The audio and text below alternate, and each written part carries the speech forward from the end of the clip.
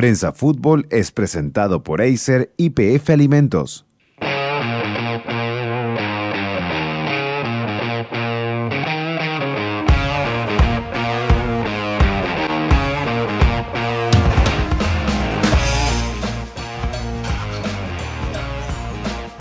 Hola, hola, hola, hola, hola, hola, hola, hola, hola, muy, pero muy buenas tardes. Arrancamos el capítulo 280 de Prensa Fútbol en Radio Z, aquí conectándonos listos y dispuestos para hablar de lo que más nos gusta este 2 de junio, para hablar de lo que más nos gusta, la pelotita, la selección chilena. Berizzo ya tiene la primera polémica en la selección chilena y lo vamos a estar analizando también, las movidas del mercado nacional, internacional, lo que pasó ayer con la finalísima de Argentina que le ganó ahí a Italia 2-0 en Wembley con un arbitraje de Piero Massa que no le cayeron empanadas, no cayó nada ahí, pero dirigió de buena manera Piero Massa. Vamos a tener ahí también nuestro minutito Byron Castillo que juega hoy día con Ecuador, también un amistoso con Nigeria. De eso y mucho más vamos a estar hablando hoy día, además con la presencia de la visita de la presidenta de la Asociación Nacional de Jugadoras del Fútbol Femenino de Chile, Iona Rothfeld, que va a estar invitada con nosotros más adelante. Y vamos a también a analizar eso que pasó ayer en el Superclásico. Preocupante y lamentable lo que pasó en el Superclásico femenino donde Javier Agres cayó ahí con un golpe en la cabeza y no habían ambulancia ahí en el CDA y tuvo que llevársela una patrulla de carabineros. De eso y mucho más vamos a estar hablando más adelante, como siempre, con Niño Nuevo los controles y Carlos Piratini. ¿Cómo estáis, Carlos? Bienvenido a este nuevo Prensa Fútbol en Radio Z. ¿Cómo va, Guaja? Aquí bien, bien, mirando. Me puse a mirar, que me conecté por internet a un canal de televisión ecuatoriano. Y y bueno, yo pensé que en el deporte, en, Chile había humo, pero ya te pasaste. Casi con nombre los jueces, ya para el goce, Dejemos que las cosas pasen. Dejemos que, dejemos que fluya, no nos peleemos entre países, hay periodistas buscando el odio contra el chileno, contra el chileno medio. Bueno, yo no tengo nada contra Ecuador, encuentro que hay gente bonita, que si tienen que clasificar al mundial, ojalá les vaya la raja, eh, que, si quedan fuera, ojalá castiguen a los que, se hagan responsables, pero, pero ya el hecho casi como, bueno, me acordé de Chile en el 89. Sí. Vamos a quemar la embajada, era así, así en el 89, ¿y qué nos pasó? ¿Qué nos pasó? Nos llegó el coletazo. ¿Qué le puede pasar a los amigos ecuatorianos? Les puede llegar el coletazo. Tranquilo, que las como decía alguien, que las instituciones funcionen, que la FIFA nosotros fuimos a llorar a la FIFA y estamos llorando en la FIFA en estos momentos. don Pedro, después de, 14, de 22 años, 24 años, estamos llorando en la FIFA. Em, eh, y, decir que, pase lo que tenga que pasar. Que corra la lista, que se meta Colombia, el repechaje, que Perú vaya directo, lo que sea. No somos dignos de ir al Mundial en Chile. Futbolísticamente no somos dignos pero tampoco es digno, weón, casi hacer una guerra, weón, entre, weón, te cruzáis, te cruzáis en Guayaquil con un chileno y le vais a ir a pegar, señor periodista, no le voy a dar ni siquiera el nombre, porque es patético, es patético, pero de verdad, casi como que todos los chilenos, weón, ¿qué somos? No, esto es fútbol, no una guerra. Tú lo decir. ¿Viste que no hemos ganado el cariño de nuestros amigos ecuatorianos, nuestros hermanos ecuatorianos? No hemos ganado el cariño. Ayer yo me deleité leyendo un ratito los comentarios en YouTube nos han dejado mucho, pero mucho cariño, así que también le mandamos mucho cariño a nuestros hermanos ecuatorianos y a nuestro parce también, Byron Castillo, que vamos a estar ahí analizando más adelante lo que es el caso de Byron Castillo, lo que está pasando en Ecuador, lo que dijo Gustavo Alfaro, pero ¿te parece, Carlos? Aquí también me corrigen de inmediato que me equivoqué. Yo dije 2-0 Argentina-Italia, fue 3-0. No conté el gol al final, el gol ahí en los últimos minutos, fue 3-0 lo de Argentina sobre Italia. Tremenda victoria ahí en Wembley con el arbitraje de Piero Massa, nuestro digno representante de la Catedral bien, bien, bien, bien, bien, bien, bien. Sí, estuvo bien. Aparte dejó que le pegaran un codazo a Messi, que no, que no reclamara tanto, así que estuvo bien, estuvo bien. Mira, me sorprendió, como diría Alexis Sánchez, me sorpresó el trabajo de Piero Massa ahí en Wembley. ¿Cómo lo viste? que para mí no era expulsión lo de eh, el codazo a Messi, weón. Para mí está bien puesta la amarilla. Hay una diferencia de altura que provoca eh, el golpe. Pero bueno, cuando Elías, pregúntele a Elías Figueroa cómo se salta a defender un cabezazo. Con los brazos abiertos para cubrir tu metro cuadrado, listo. Messi mide 30 centímetros menos que, que, el central italiano. Entonces, amarilla, listo. Juego brusco, pero no intento de agresión. Juego brusco. Como van los delanteros también, acuerdas del matador Salas, que a todos los delanteros también le ponía y le dejaba su recuerdo, su codazo también ahí, el matador Salas. ¿Te parece, Carlos, que ya que nos metimos de lleno en, esto que fue la, la, finalísima, este encuentro que enfrentó al campeón de América con el campeón de Europa, empecemos analizando eso? La victoria por 3-0 de Argentina ahí en Wembley, una victoria súper contundente de Argentina, me parece que es una de las presentaciones más sólidas en la era de Lionel Scaloni al frente de la selección argentina. Argentina que tiene un libreto claro, sabe a lo que juega, que espera en ciertos momentos, que juega de contra, que tiene un Di María que está muy enchufado en esta selección y un Messi que me parece que es otro al del Paris Saint Germain.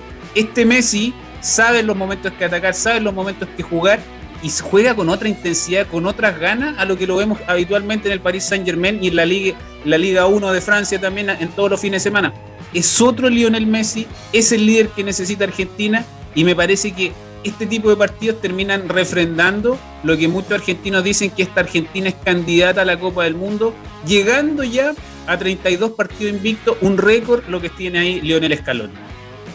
Yo creo hay tres cosas para mí. Primero, el trabajo de Lionel Scaloni en la selección argentina de menos a muy bueno. De poco a muy bueno. Fue muy criticado, que un interino que nunca se ha hecho cargo lo dejaron trabajar. Chiquitapia lo dejó trabajar. Andaba más en, la, peluquería para hacerse el jopo con Chiquitapia que, que, que, molestando al entrenador de la selección chilena. los dirigentes de la AFA lo dejaron trabajar y mira, mira lo que formó. Formó un plantel. Tiene un plantel de 25 o 30 jugadores de Argentina, dos jugadores por puesto.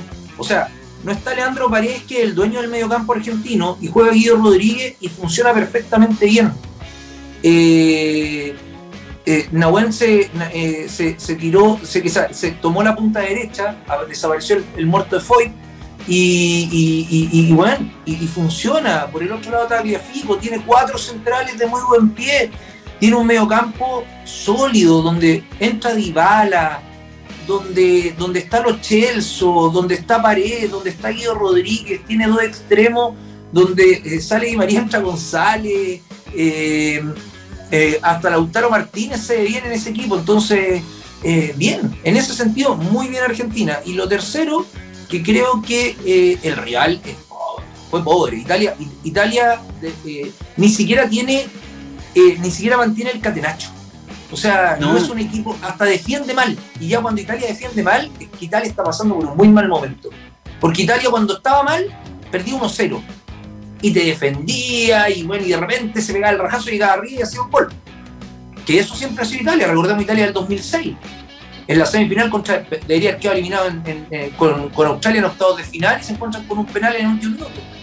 Eh, y en la semifinal con Alemania es lo mismo. Entonces, eh, sí, contundente Argentina en base a un rival débil que le supo pasar, sobre todo en el segundo tiempo, por arriba.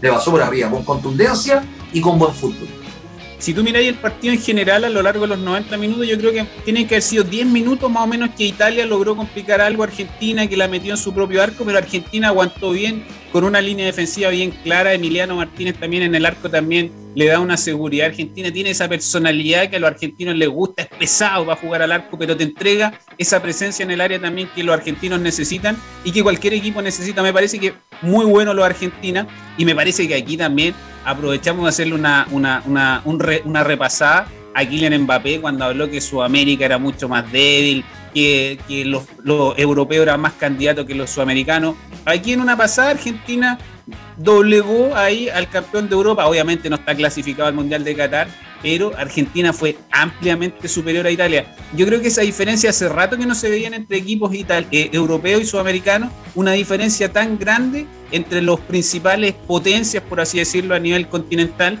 me, me llamó mucho la atención. Y yo creo que Argentina se quedó corto ayer en el resultado, porque Messi buscó incansablemente su gol, muchas jugadas que a lo mejor pudo asistir, era Messi, quería, quería sí o sí su gol, y Messi ayer jugó como en el patio de la casa, o sea, relajado, pisándola como pocas veces, tocándola. Me, dio gusto ver a Argentina, esta Argentina Lionel Escalón y la escaloneta, como la bautizaron los argentinos, que está ahí muy, pero muy enchufada, Carlos Piratini. Te voy a dejar la pregunta planteada antes de leer a la gente, como siempre participa con nosotros con el hashtag Prensa Fútbol. Si Argentina es candidato para la Copa del Mundo de Qatar 2022. Si este triunfo sobre Italia le suma bonos para ser ahí candidato a la Copa del Mundo que arranca ahí en noviembre próximo. Vamos leyendo a la gente y después Carlos Piratín nos responde. Como siempre, el Team Radio Z ahí remándonos con el hashtag prensa fútbol aquí para hablar de fútbol también de Chile y el mundo, nos dicen el Team Radio Z. Por acá, Guaneros, muy buenas tardes, capos deportivos. Ponga el ajito, dice presente. Acá también nos mandan GIF de Qatar, están todos listos y entusiasmados acá, pensando en que Chile se va a meter ahí en el Mundial de Qatar. Por acá, Luis Cletero nos dice: ayer Messi demostró que hoy por la selección juega con menos presión que hace 15 o 10 años atrás y está jugando a gusto, mostrando toda su madurez. Dejar el Barcelona le hizo bien para la selección argentina. Hoy todos se centran en Benzema en España también y en el mundo. Mira, yo creo que es un muy buen comentario. Yo tengo la sensación que este Messi se está guardando para el Mundial. Que la pasada por Francia le vino muy, pero muy bien físicamente, reservándose. Y a partir de ahora, Messi va a hacer una preparación muy similar a la que hizo en su minuto Diego Armando Maradona para llegar a los Mundiales y para llegar a plenitud a Qatar 2022, porque Messi sabe que esta es la última gran oportunidad que tiene con Argentina. Pero este Messi es muy distinto al que vemos habitualmente en, el Paris Saint Germain de todos los fines de semana. Corre, el partido corre, corre defensivamente. Sí. Ahora, yo quiero, yo, yo, yo en parte estoy de acuerdo con Mbappé. Sí. ¿Y por qué estoy de acuerdo con Mbappé? Porque miro el Mundial de Corea, del, del, Mundial más malo de la historia, desde Corea y Japón hasta Rusia, cinco mundiales, 20 equipos semifinalistas, cuatro sudamericanos, 16 europeos, eh, eh, cinco finales, seis europeos, dos sudamericanos, solamente en el 2002, que fue campeón Brasil, y en el 2014, que fue finalista Argentina. Una vez, dos veces semifinalista Brasil, una vez campeón, una vez Argentina, una vez Uruguay, y todo lo demás europeo. Bueno, no, hay un coreano, perdón, está Corea, está Corea, está Corea en el 2002. Eh, y, han demostrado en los mundiales que, que, tienen una supremacía por sobre el fútbol sudamericano y sobre el fútbol mundial. Eh, y, que, y que está bien, si lo han hecho mejor. Acá Uruguay vivió hasta el 2010, después bajó un poco, pero, pero el fútbol sudamericano se ha quedado pegado un poco en, en algunas cosas y creo que ahora hay una posibilidad de resarcir eso. Porque yo miro las selecciones que compiten en el Mundial. Y para mí yo tengo dos candidatos europeos. Ya. Y un candidato sudamericano y para contar. Pero creo que Brasil podría llegar a meterse. Uruguay creo que va a ser un muy buen mundial. Ojo con Uruguay, ojo con Uruguay. Eh, el equipo Aguirre, weón, ojo. Uruguay tiene muy buen equipo. Pero a mí los candidatos son Francia, Inglaterra y Argentina. Sí, mira, ponía Inglaterra como candidato. Yo creo que para mí el candidato número uno es Francia por la generación de futbolistas que tiene Independiente que me molestan ahí las declaraciones de Mbappé. Brasil viene ahí en, en, un segundo lugar que me parece también que va a estar ahí metido en la parte alta de la tabla. Y pongo Argentina. Yo creo que ahora voy a poner Argentina entre mis candidatos, ahí entre mis tres candidatos, Independiente que yo digo que Francia va a terminar siendo este campeón del mundo en el próximo Mundial de Qatar 2022. Ahora, Ahora tú decís que en Europa lo de Mbappé, que decía que es mucho más competitivo, te voy a decir un par de partidos que hay hoy día. Por ejemplo, hoy día juega Estonia con San Marino, juega Georgia contra Gibraltar, Chipre contra Kosovo, Bulgaria contra Macedonia del Norte. Esos son los partidos súper competitivos que dice Kylian Mbappé en Europa. No, pero lo que hoy es que hay más selecciones que son acá, en Sudamérica. Uruguay, Argentina, Brasil. Chao. Y el resto, o sea, Argentina, Brasil, un pasito más atrás Uruguay, que se prende de tarde en vez, y después el resto, y abajo tenía un Bolivia y un Venezuela. Tenéis cuatro escalones. ¿Cachai? En Europa tenéis 11 selecciones que son competitivas. Rápidamente, España, Portugal, eh, Alemania, Inglaterra, Francia, Croacia, Países Bajos, Italia. ¿cachai? Ahí así, rápidamente nombramos Serbia, Ucrania. Ahí te nombré 10 países que perfectamente le pueden hacer partido a cualquier equipo sudamericano. Sí. En cambio acá, equipos sudamericanos que le pueden hacer partido a esos 10, Brasil, Argentina, Uruguay en cierta medida, pero nunca de favorito, por lo menos con cuatro de ellos nunca de favorito, y ya, a Ucrania, Chile le puede ganar, eh, le puede hacer partido, no sé, a uno que otro, ¿cachai? Ecuador también, Colombia también, pero estamos, pero, creo que sí, en, en cuanto a nivel parejo, de las grandes selecciones, estamos un poquito más abajo y lo han demostrado los mundiales también. Mira, yo no sé, no sé, yo sí puede ser así como a nivel general, que uno diga que puede estar más abajo. Obviamente en Europa tienen otras condiciones, mejores condiciones futbolistas, de futbolísticas, de preparación, de planificación, que son mucho mejor acá a lo que ocurre en este nivel continental. Ahora, siento también que las eliminatorias del Mundial, tú decís, tenéis 10 equipos competitivos en Europa, pero esos 10 equipos competitivos entran, entran seguro al Mundial. O sea, en las eliminatorias son coser y cantar, o sea, es re fácil pasar ahí. O sea, si te toca jugar con, con San Marino, te toca jugar con Gibraltar, obviamente hay que terminar clasificando. Y es siempre uno de los dos equipos, uno o dos equipos que terminan complicándose de estas potencias y una sorpresa, porque de los 10 grupos que tiene Europa, pasan los cabezas de serie y está súper claro, está súper claro. Pero en, Sudamérica también, pues Oaxaca. Pero es mucho más peleado. Mira los últimos cinco mundiales. Es mucho más mira peleado. Pero mira los últimos cinco mundiales. ¿Quiénes han clasificado a los últimos cinco mundiales de Sudamérica? Argentina, Brasil, Uruguay. A todos, del 2002 para acá. Sí. Y después, ¿quiénes se te meten? Se te ha metido dos veces Chile, se ha metido dos veces Ecuador, se te metió dos veces Paraguay al principio, 2002, 2006, y se te metió Colombia, tres veces. Y Perú una vez, y Perú una vez. Y gracias. Sí. Y hasta ahí, ya está ahí. O sea, los Venezuela, los Bolivia, no existen. Los Paraguay dejaron de existir después de que se fue la generación dorada del 2006. Chile deja de existir ahora. ¿Cachai? Eh, vamos a ir al mundial probablemente porque sido grande, ¿cachai? Y, pero no quiero lo, lo, dijo con un poquito de ilusión. Lo dijo con no, un no quiero, no quiero, no quiero, bueno, no quiero, no quiero ser el hazme reír el 21 de junio cuando nos gane weón Qatar. Entonces no quiero, no quiero, no quiero, no quiero, no, no quiero que Chile vaya no quiero. Eh, pero entonces, sí, en cambio, mira, mira, mira Europa. Ya, y de esos equipos sudamericanos, Argentina, Brasil y Uruguay han llegado al menos a semifinales o a una final del Mundial. En Europa ha llegado Turquía, ha llegado Alemania, ha llegado Francia, ha llegado Italia, ha llegado España, ha llegado Portugal, ha llegado Holanda, ya te nombré ocho. Inglaterra, nueve.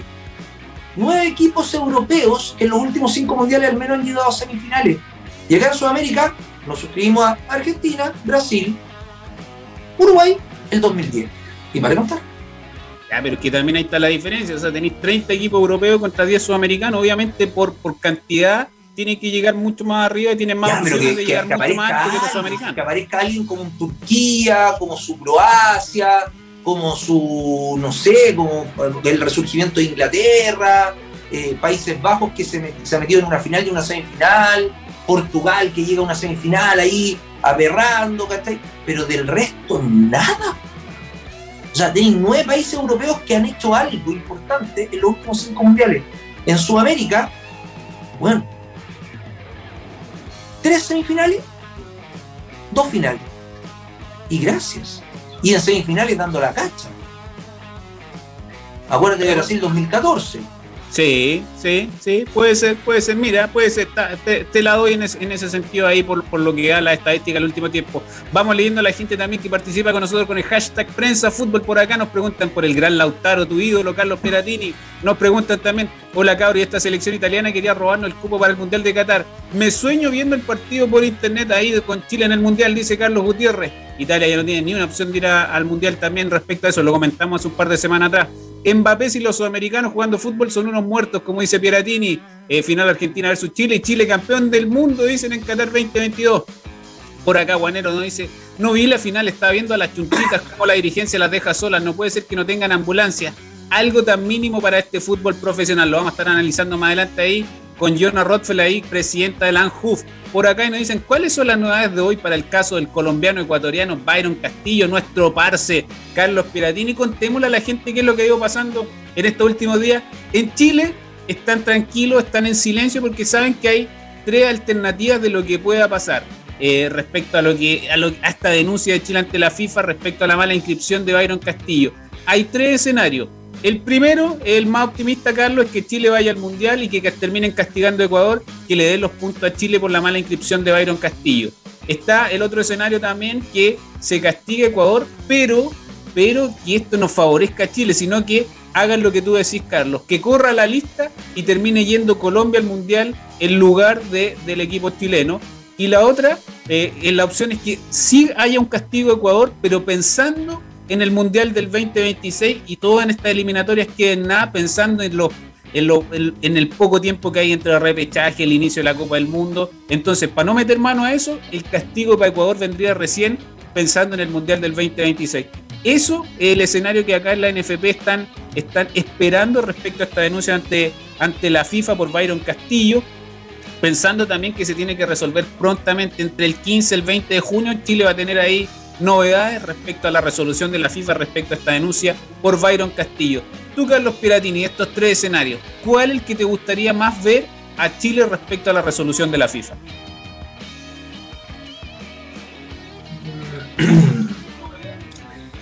Es que, es que, es que yo primero quiero que digan, ¿es culpable o no es culpable? Yo ahí me voy, ahí, ahí voy a decir, dependiendo, porque si la FIFA dice, sí, la Federación Ecuatoriana y el futbolista, o el, los representantes, porque no creo que de verdad yo no creo que Iron Castillo esté metido dentro de esta cuestión. Yo creo que al cabrito le dijeron, mira flaco, te vamos a arreglar la vida de. Te vamos a arreglar tu, eh, eh, tu futuro, el de tu familia y el de tres generaciones más, porque eres demasiado bueno para la pelota.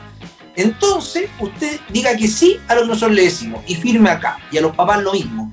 Y de ahí parte toda la cuestión. Entonces, eh, yo quiero ver qué, qué dictamina la FIFA. Si es el, si es la federación, es el fútbol ecuatoriano el que está involucrado, si es totalmente inocente o es el futbolista y el representante del club los que están involucrados. ¿Qué creo yo que va a pasar? Eh, que no vamos a clasificar. Mira, mira, Carlos, Carlos Piratini se va por el lado pesimista para la, la aspiración no lo merecemos. al mundial. Sí, no lo merecemos. Es que, en, mira, en eso hay que ser realista, más allá de todas las bromas que hemos hecho, de lo que hemos comentado toda la semana. Futbolísticamente, Chile no merece meterse en el Mundial de Qatar 2022. Ahora, por el tema legal, el tema de inscripción, si tú haces el reclamo y te, dan ese reclamo porque hubo una mala jugada de parte de la Federación Ecuatoriana, está en todo tu derecho a reclamar los puntos y si le dan el favor a Chile, bienvenido sea. Pero futbolísticamente, por lo que pasó en la eliminatoria, de verdad que no merecemos ir al mundial, de verdad que sería un regalo, que nos caería del cielo, que no, seríamos felices entrando por la ventana, entrando con el escritorio a la cancha. le cae a los empresarios del fútbol del cielo?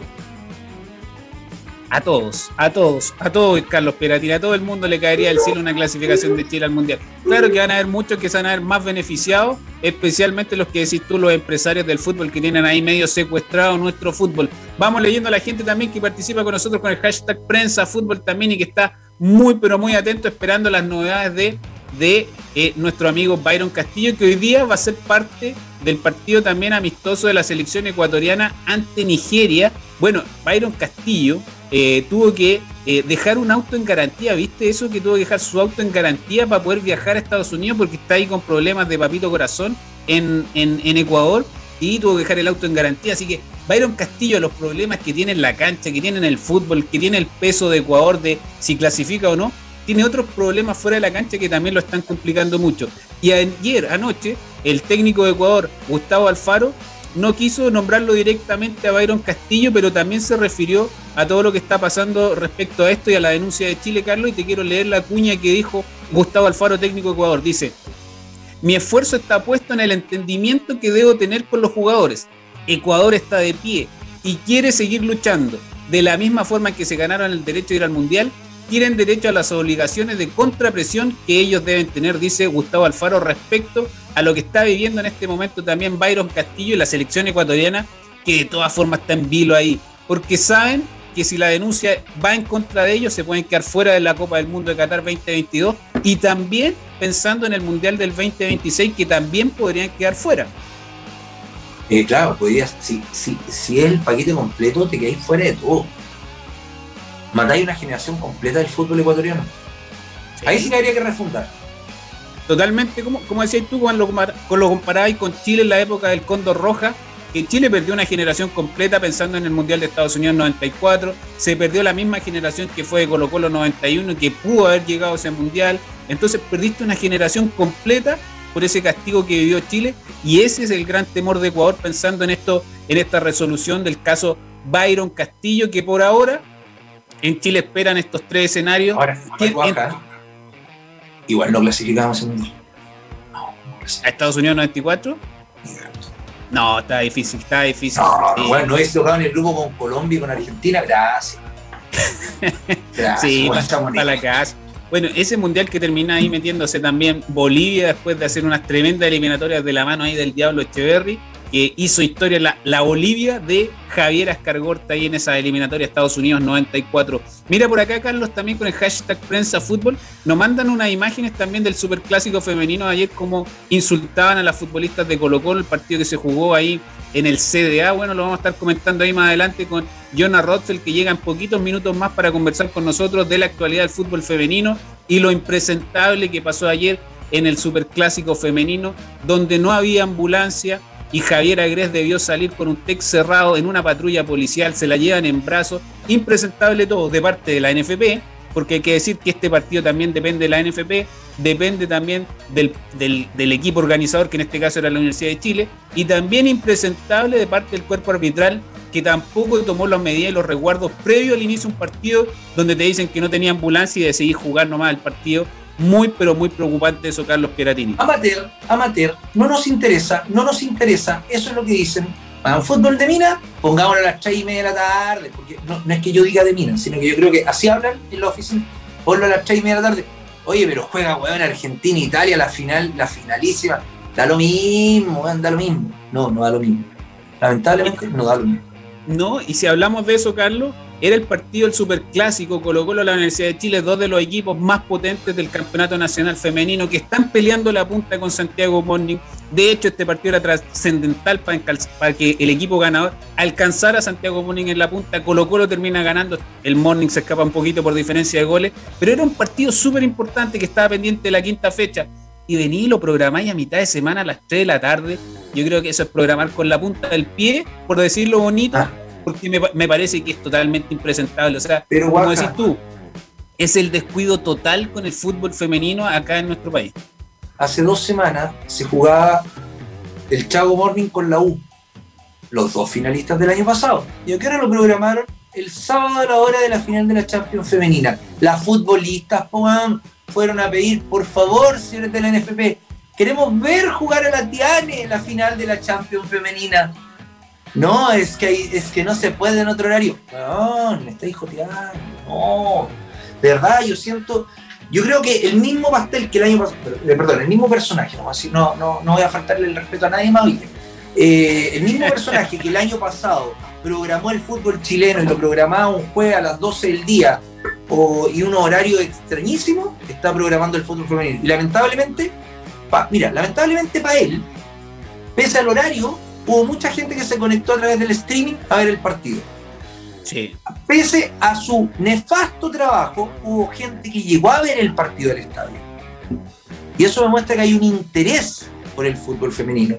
Pero que estos señores, que a lo mejor si la mononaran algo, si lo transmitieran uno o dos partidos por el CDF o por, por TNT o por televisión abierta, créanme que tendría sus puntitos de rating más, por ejemplo, que a esta altura, y aquí me han abierto, que la doctora Polo, weón, un, día de semana a las 7 de la Sí, sí, bueno, se ha visto cada vez que han transmitido por televisión abierta el fútbol femenino tiene mucho, pero mucho arrastre. ¿Te parece, Carlos Peratini, que hagamos un descanso, tomémonos un break, nos preparemos y vayamos aquí a los vestuarios pensando en que se viene Jonah Rothfeld a conversar con nosotros de esto y mucho más respecto al fútbol femenino en nuestro país? También tenemos varias novedades que contarle, así que hagamos un corte comercial y nos preparamos para seguir hablando del fútbol femenino que está muy pero muy interesante y lamentablemente con algunas novedades que no son tan pero tan positivas. Hacemos un corte y seguimos con más prensa fútbol en Radio Z. ¿Quieres comer platos típicos caseros pero estás agotado? Tranquilo, PF Listo tiene todo tipo de platos preparados a solo unos minutos de consumir y libre de sellos. Disfrútalos en sus variedades. Pastel de choclo, PF listo. Pastel de papas, PF listo. Porotos estilo casero, PF listo. Lentejas estilo casero, PF listo. Charquicán, PF listo. Los más ricos platos caseros se disfrutan mejor junto a PF listo. Salva tu día con PF.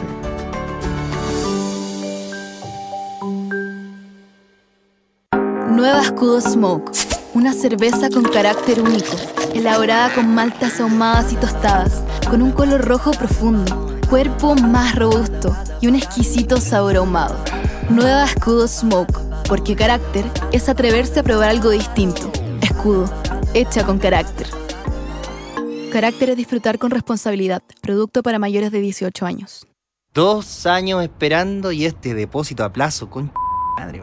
Generó 100 lucas de interés. Este es el típico inversionista que perdió la paciencia. Con Invesmart de Euroinmobiliaria, invierte para ganar. Invierte en departamentos con estándar de multifamily con dos años de arriendo asegurado y administración gratis. ¿Te gusta la idea? Hablemos en euroinmobiliaria.cl.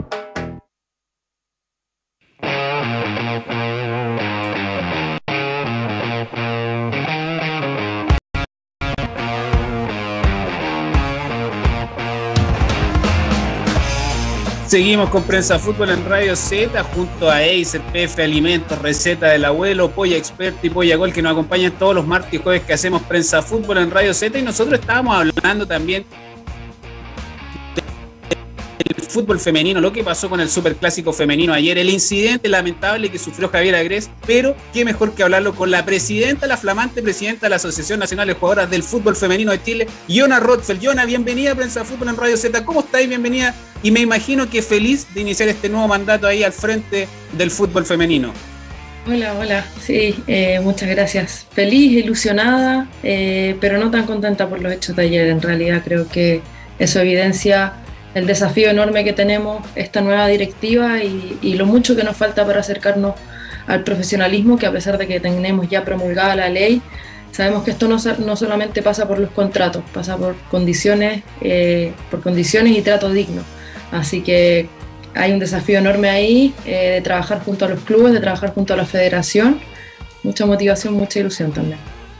Bueno, nosotros conversábamos con Carlos recién poco antes del corte comercial que por más que surge el interés de, la gente por ver el fútbol femenino, cada día se nota que hay mucho interés, por más el trabajo que hacen ustedes también de profesionalizar el fútbol femenino, lo que lograron este año también con el Congreso, en la NFP de repente como que siguen ahí mirando en menos el fútbol femenino. Un super clásico lo programan a mitad de semana a las 3 de la tarde, generando incluso el mismo reclamo de, de las mismas jugadoras. Lo que hablamos también, lo de la falta de la ambulancia, que también es impresentable, y Afortunadamente lo de Javier Agres no, pasó a mayores, pero pudo haber sido mucho más grave porque tiene que venir una patrulla a llevársela, la toman en condiciones que tampoco corresponde para un accidente que pudo haber sido mucho más grave, que afortunadamente no fue así, pero me parece que en general se nota que siguen mirando en menos el fútbol femenino, no se le toma el peso que realmente quieren desde la NFP. Sí, yo creo que más que, más que apuntar a la NFP, yo creo que es un, es un todos. Eh, creo que acá hay hay una... Bueno, sabemos que la NFP finalmente le responde al Consejo de Presidentes y esos son los clubes. Entonces creo que hay una responsabilidad de cómo los clubes también están tratando y desarrollando su, su rama femenina. Eh, ¿Qué pasa con la seguridad en los estadios? ¿Qué pasa si nos llenamos la boca hablando de que queremos desarrollar el fútbol femenino y que estamos comprometidos con la causa? ¿Por qué tenemos unos aforos tan reducidos para clásicos universitarios? ¿Por qué no estamos jugando en los estadios? ¿Por qué no está la seguridad correspondiente? ¿Por qué no está la ambulancia? O sea, tú mismo lo dijiste. Eh, tuvimos suerte de que, de que, la lesión de Javier Agres no fue, no fue mayor, porque es impresentable que se haya dado inicio al, al partido sin la ambulancia, eh, que no hubiese personal médico. Eh, imagínate si es una lesión de gravedad, la movilización de, de, la jugadora ya podría haber agravado la situación. Eh, y la verdad es que a nosotras nos deja, nos deja muy preocupadas. creo que en esto no hay que, no hay que estar a medias tintas. Eh, no, no puede ponerse en riesgo de esa forma la seguridad y la integridad de las jugadoras.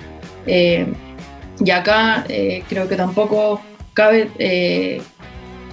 buscar a otros responsables y estar señalando, no es que acá dice que esto, creo que, hay responsabilidades compartidas y espero que se hagan cargo, espero que eh, realmente nos preocupemos de que, de que además de que se, hagan cargo de esa responsabilidad, nos hagamos cargo de que esto no vuelva a pasar. Eh, nosotras estamos trabajando y, y, ese es nuestro norte, que esta situación no vuelva a ocurrir y si ocurrió en un clásico, no me quiero imaginar si está pasando en otros partidos o no.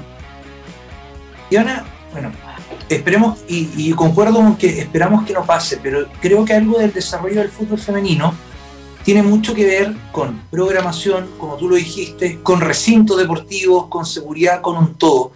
Y a nosotros nos sorprende, y con Guaja lo comentábamos recién, el formato de programación que tienen con el fútbol femenino. Yo creo que le sale el tiro por la culata porque dicen, no, lo vamos a programar a las 3 y media de la tarde un clásico. Eh, hace dos semanas programaron Santiago Morning con, la U al mismo horario de la final de la Champions.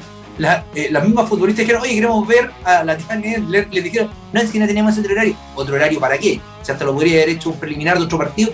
Y lo otro que me sorprende es por qué al menos uno o dos partidos del fútbol femenino porque solamente nos dedicamos cuando, cuando la U llegó a la semifinal de Copa Libertadores, cuando hay una final de torneo, se transmite por televisión abierta y tienen, y, tienen un rating respetable, porque a la gente le interesa.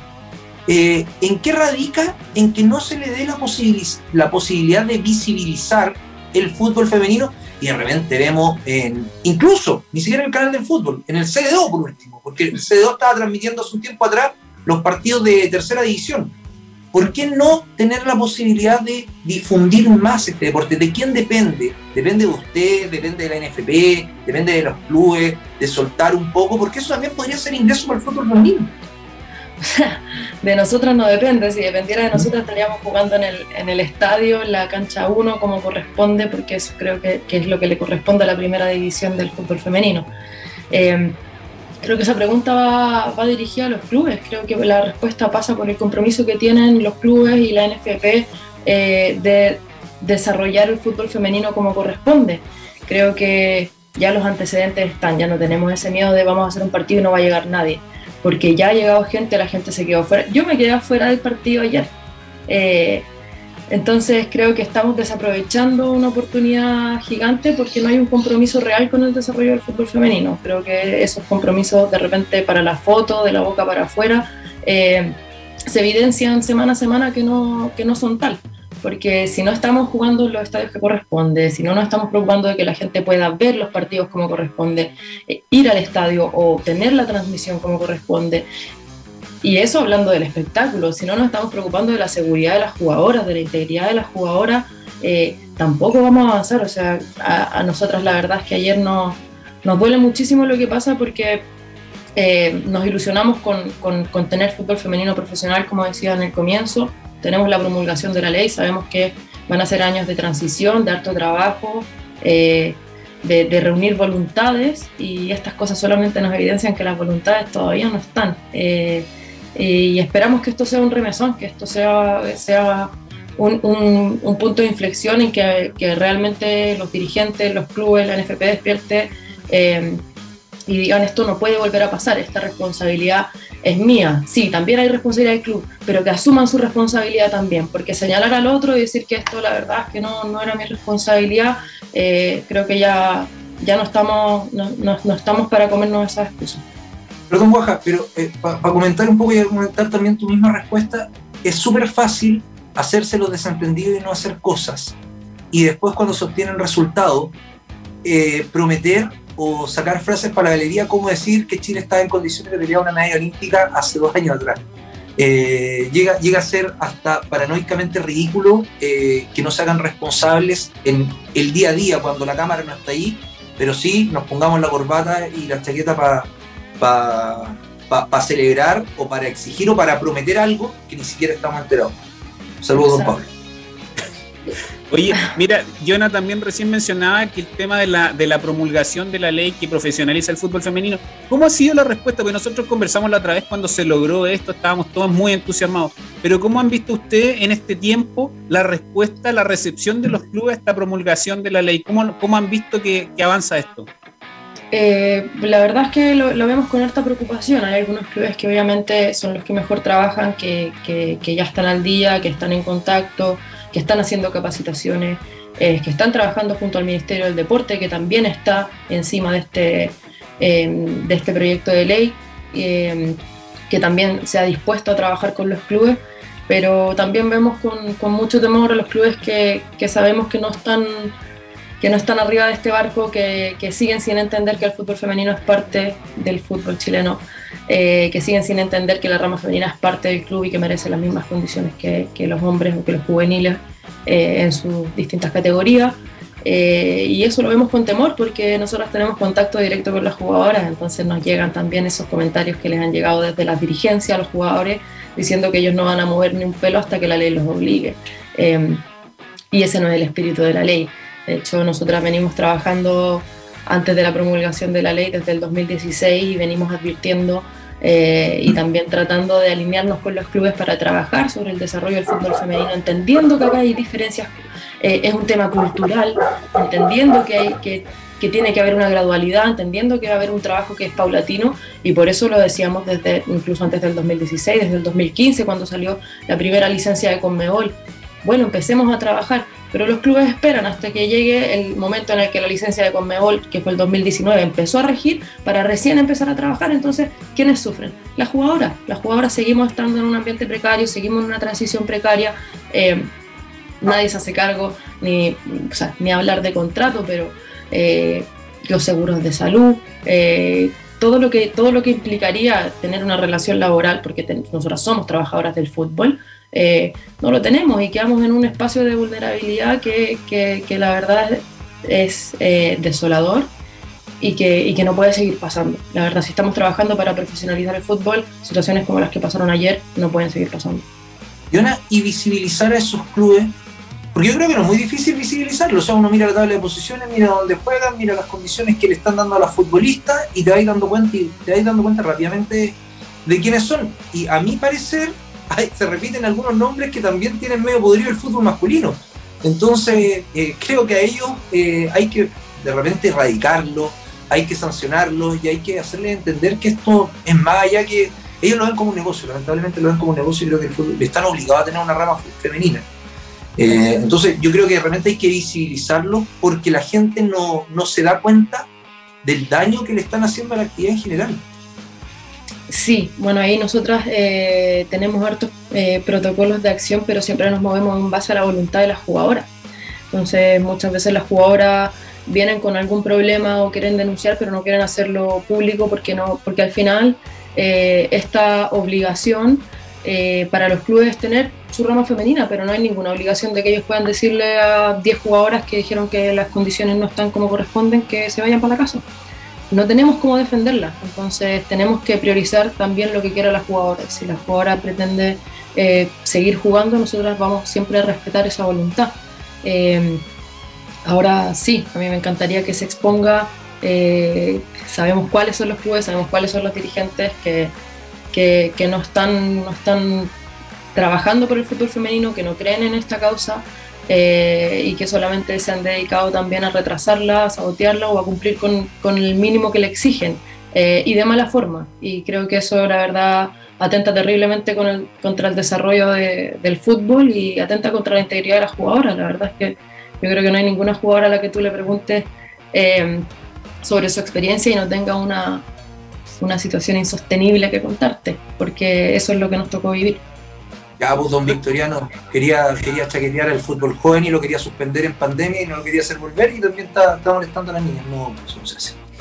Jonah, ¿qué tan factible es, por ejemplo, que el fútbol femenino se separe del Consejo de Presidentes de, la NFP y formar una, una, asociación aparte, no sé, que pueda funcionar aparte y que no dependa de la NFP, pensando que en el Consejo de Presidentes están preocupados de repartirse las platas de TNT Sport, de la selección, que tampoco está separado de la federación, ¿Están, ¿Están los planes de ustedes? ¿Es factible o es imposible que, puedan separarse del Consejo de Presidente de la NFP? O sea, nosotras desde nuestra constitución como asociación de jugadoras, uno de nuestros primeros puntos eh, en el diagnóstico del fútbol femenino y de por qué nos cuesta tanto es esta dualidad que existe entre la NFP y la federación y siempre hemos abogado a la separación de la misma. Cuando creemos que cuando esa se separe, eh, la federación va a poder eh, atender su responsabilidad, que es desarrollar los fútboles incluyendo el fútbol femenino, fútbol playa, fútbol calle, eh, de la manera que corresponda y la NFP podrá hacer lo que quiera con su Asociación Nacional de Fútbol Masculino Profesional, que es a lo único que se dedica. Entonces, eh, la verdad no sé, no sé cómo se va a dar esa separación. Eh, sé que es algo que la NFP viene diciendo que viene trabajando hace años. Esperamos que este sea el año que, que realmente lo concrete o no. Eh, también desde, desde el gobierno hay una intención de, de hacer que eso suceda. Nosotros en ningún minuto queremos hacer una asociación aparte porque la FIFA se entiende con sus asociaciones miembros. Nosotros queremos mantener ese, eh, ese camino. Eh, creemos que se pueden hacer las cosas de, de, buena manera y creo que tenemos dirigentes y hemos tenido autoridades que también han creído y se han comprometido con la causa.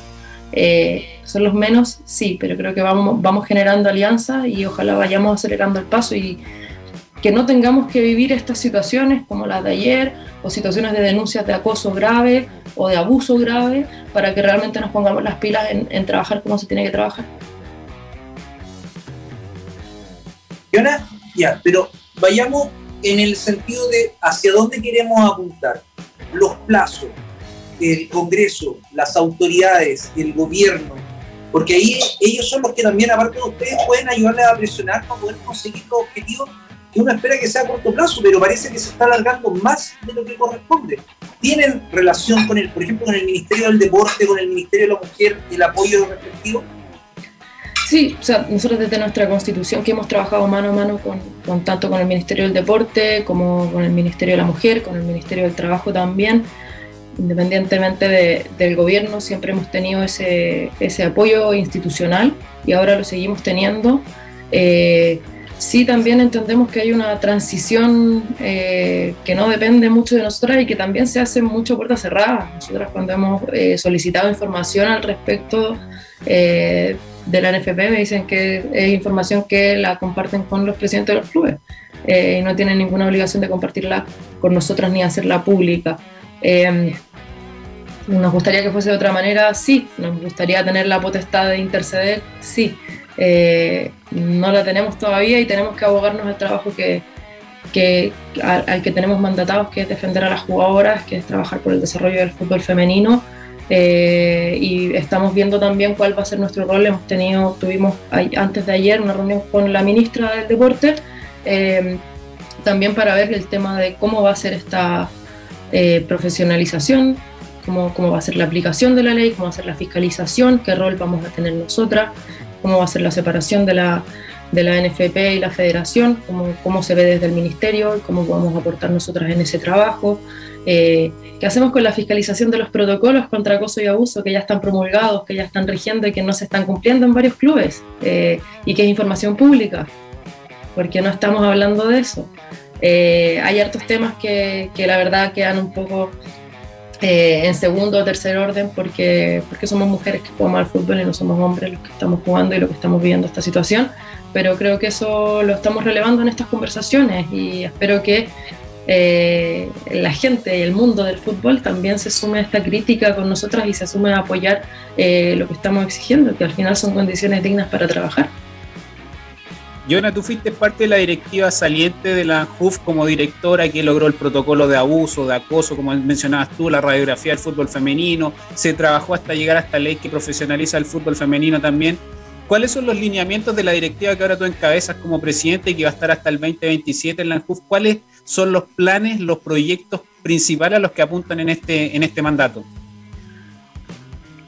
Tenemos varios, todavía no podemos hacer pública eh, los nuevos lineamientos, estamos reestructurando muchas cosas, nosotros asumimos recién este lunes, eh, pero la visión de la, de la, asociación no cambia con el directorio, tenemos, tenemos un objetivo claro que es la profesionalización de nuestro deporte eh, y entendamos que por profesionalización no estamos hablando solamente de contratos. Sí, promul se promulgó la ley y eso va a ayudar a que haya una transición y que los jugadores, las jugadoras estén contratadas de acá a tres años. Pero hay mucho que trabajar entre medio. Lo que hablábamos antes de la voluntad de los clubes realmente de, de hacer esto efectivo eh, y de las condiciones de, de, del día a día, las condiciones de entrenamiento, las condiciones de los partidos, las condiciones del espectáculo, cuando abrimos los aforos, cuando estamos transmitiendo los partidos, eh, el tema del arbitraje, eh, el tema de los pases. Eh, es todo, hay la verdad es que muchísimos temas que nosotros vamos a tener que abarcar en este nuevo periodo. Es un desafío enorme, pero estamos construyendo gremio y creo que eso lo que dejó la directiva de los primeros cinco años ya es un gremio muchísimo más fortalecido, que se reconoce como gremio, porque cuando iniciamos no nos reconocíamos como gremio. Eh, y ahora tenemos el desafío de esta transición a la profesionalización y de cuidar que en esta transición la integridad de la jugadora no sea pasada a llevar. Te lo pregunté la vez pasada cuando también la, entrevistamos Fiona y quiero volver a preguntarte, con todo este cambio que ha existido, eh, porque miramos al mundo y vemos que en los países más desarrollados sí existe una comunicación muy cercana eh, y existe una presión de parte incluso del, del, área masculina para el reconocimiento del área femenina, porque es al fin de cuentas un desarrollo integral del fútbol. Eh, con la directiva de, de, fútbol. ¿Están trabajando en conjunto? Sí, desde nuestros inicios, o sea, si no fuese por el, por el sindicato, nosotros no, no, nos hubiésemos podido conformar de la manera que nos conformamos. Eh, ellos nos guiaron, creo que vieron reflejados en nosotros la lucha que tuvieron que dar por el reconocimiento laboral de los futbolistas hace cuántos años. Y, y, sí, trabajamos mano a mano, tenemos las mismas oficinas, ellos nos ven, nos, fueron los primeros en reconocernos como colegas también, y eso es muy, muy importante.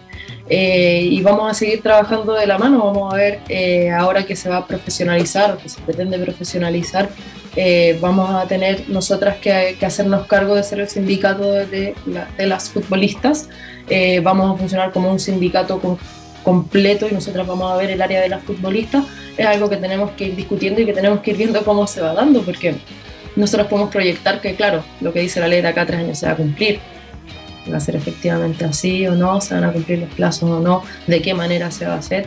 Eh, es algo que, obviamente nos preocupa, que tenemos que ir viendo paso a paso eh, y de lo que también vamos a estar súper encima porque hemos visto también otros casos en los que eh, se buscan un poco estas áreas grises o eh, maneras de darle vuelta a la ley o no sé, nosotros no queremos terminar con un campeonato que sea de tres meses del fútbol femenino porque eso ahí van a tener contratados durante tres meses a las jugadoras y se acaba. Eh, no es ese el espíritu. Así que, no, pero por suerte, volviendo a tu pregunta, por suerte tenemos el apoyo del sindicato masculino y creo que cada vez los futbolistas también eh, nos ven más con la, con la visibilización que hemos estado, hemos estado teniendo, nos ven más y esperamos que siempre se sumen a nuestra causa y nos vean y nos reconozcan como colegas. Yona, te queremos agradecer los minutos de conversa con nosotros, pasó volando el tiempo, te queremos agradecer y de ser el mayor de los éxitos a ti para esta nueva etapa que arranca Lanjuf contigo como presidenta, con una directiva también que busca la continuidad y seguir mejorando todo lo que han logrado en estos últimos cinco años, que ha sido muchísimos, muchísimos pasos adelante en el fútbol femenino.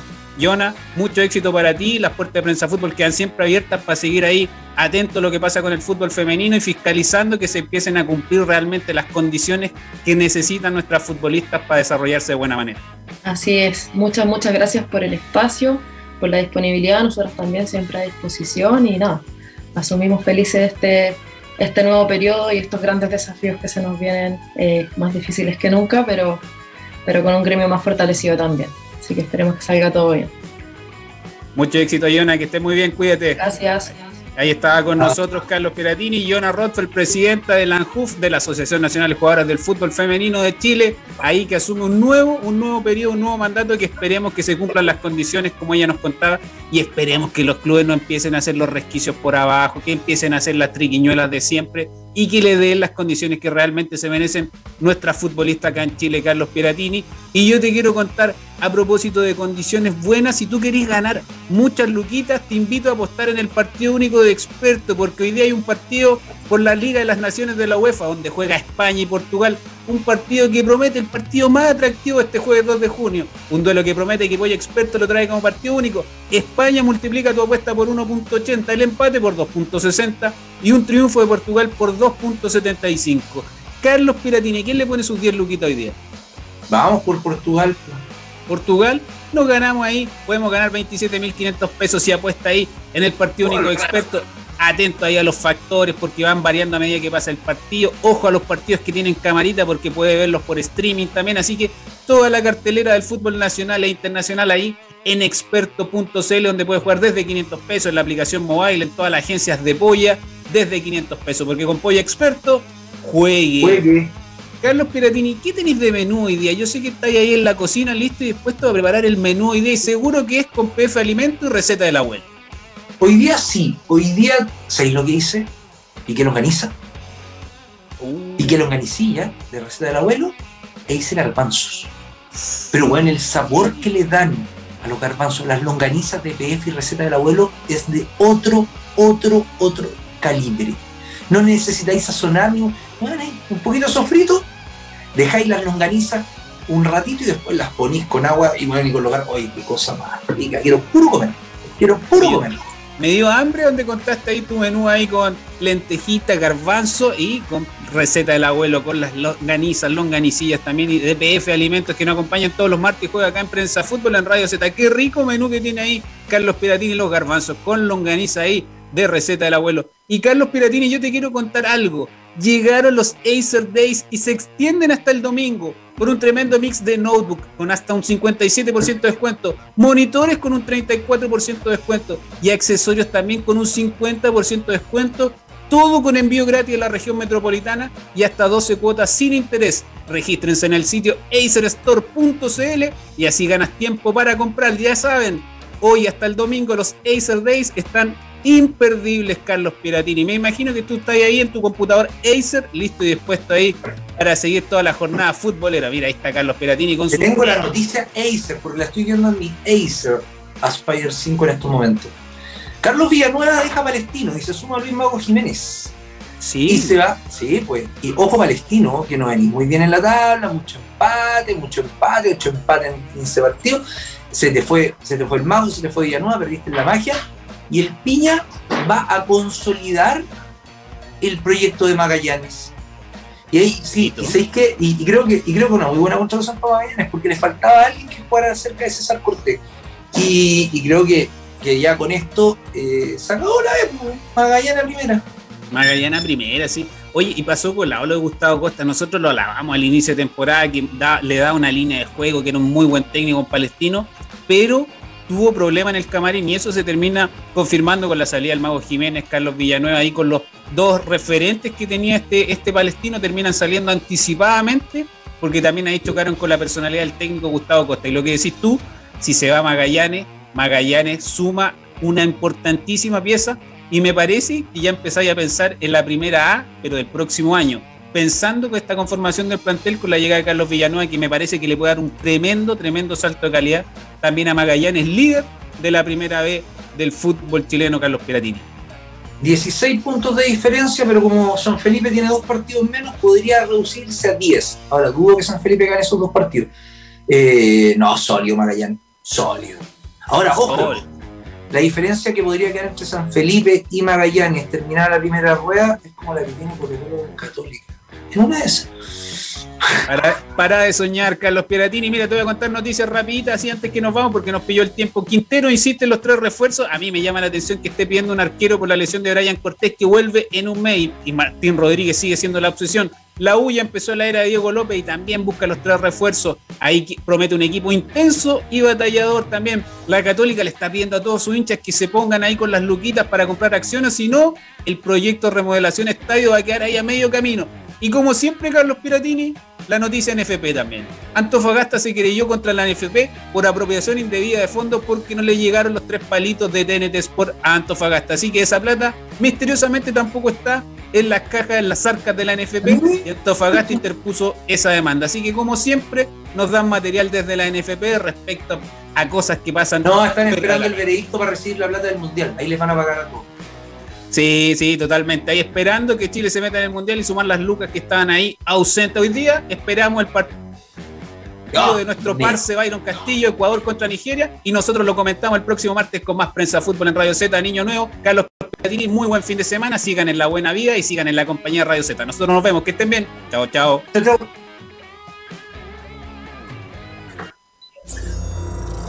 juegos de acción, de aventura, en los de guerra, en los de simulación o en los de carreras, la estrategia que tomes para vencer es fundamental. Por eso no importa el tipo de juego que elijas ni el camino que tomes para ganar. Lo primordial es un computador que te acompañe hacia la victoria con el mejor rendimiento. Disfruta tus partidas favoritas sin interrupciones con el notebook número uno elegido por los gamers en Chile. Acer Nitro 5. Juega más fuerte, más rápido y logra la victoria. Disponible en las principales tiendas de retails del país y en acerstore.cl.